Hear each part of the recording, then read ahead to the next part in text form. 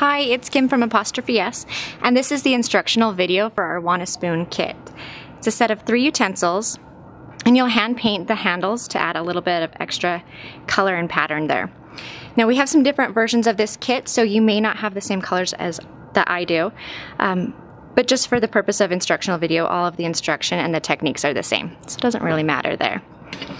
Now you can use these to cook, you can use them in um, your kitchen as, as home decor. And they also make great gifts too. So here's a look at your kit.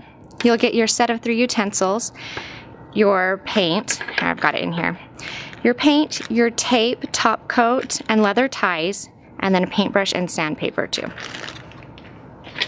And that means from home you just need a few things. So keep some paper towels and a cup of water nearby so you can rinse and dry off your brush. And also, um, just to keep your work surface clean, you'll want to have paper towels nearby just in case. And then we've also found it pretty handy to have a cup or a mug so while your paintbrush is, or said that last time too, while your utensil is drying, you can sit it in here and that way this part doesn't lay flat on any surface and get smudged and then you can start working on one of your other utensils. And if you've got all of those things, then we're ready to go. So to start off, you need to sand off your handles. This helps the paint stick a little bit better. And then also, you want to pay attention to this hole in the top where the leather tie will go through. You want to make sure that that's nice and sanded so you don't have any um, little splinters or anything, especially if you're going to use this for cooking. So sand that down, and then you'll re be ready to paint. Um, before I show you some of that, let me show you some examples. So this is the very simplest version that you can do, or the very simplest technique you can do. It's just color blocking. It's so timeless, it's really cute, it looks clean, um, and it's very, very simple. All you have to do is tape off your lines so that they're nice and clean and straight. If you want to take that a step further, you can do extra little polka dots, um, little ribbons of color, little diagonals. You can tape off um, triangles or diamonds, a chevron pattern or herringbone. You can pretty much tape off anything that's got straight lines. It's pretty simple to do. And this makes it a little bit more whimsical and kind of cute. Um, and of course, if you want to, you could just freehand these too and use the paintbrush to um, write an initial or a name, um, an inspir inspirational word, whatever you want to. So now let's get started on the simplest technique and that is color blocking. You'll take your tape, it's pretty thick and wide. I mean, yeah, it's pretty wide. So tear it in half or cut it in half and then use the straight edge like this, to act as your barrier. And you'll pull and um, pull it tight where you need to, and then push it down so that it creates a nice seal.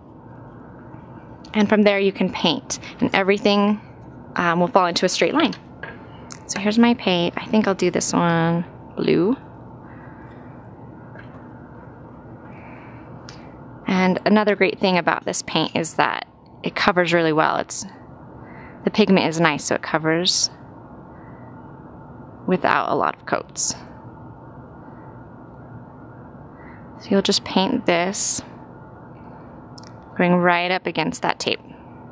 Okay, and go all the way up your utensil and then all the way around, and then set it in a cup or something so that that part can dry while you're working on another utensil and you'll end up like this. So let it dry, um, I'm gonna say five or 10 minutes before you take off the tape. So you can see I've got a clean line there, and then I'll tape, take this one off too.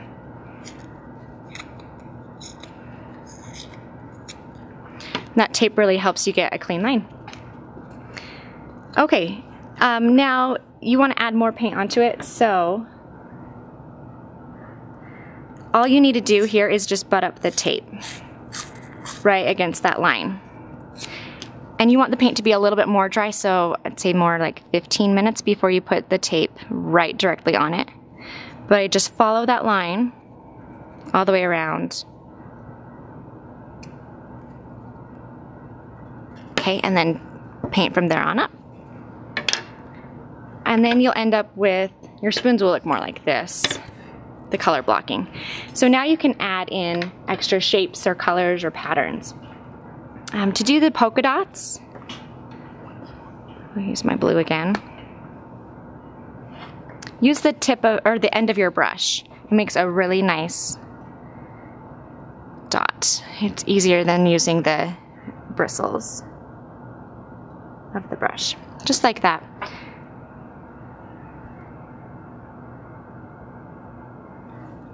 That's how you do the polka dots. And then, like I said before, you can tape off. Just use scissors on your tape and make lines or patterns or grid or whatever you need to there. And then your last step is to apply your top coat, again with that same paintbrush, and then tie on your leather ties.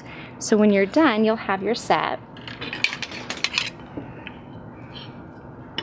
Your set of utensils just like this. And you're good to go. Now, if you haven't already, make sure you, you, you subscribe to our YouTube channel. And that way you'll be up to date on all of our latest products. And you can also follow us on Facebook and Instagram. Hope you've enjoyed Wanna Spoon from Apostrophe S. Make it yours.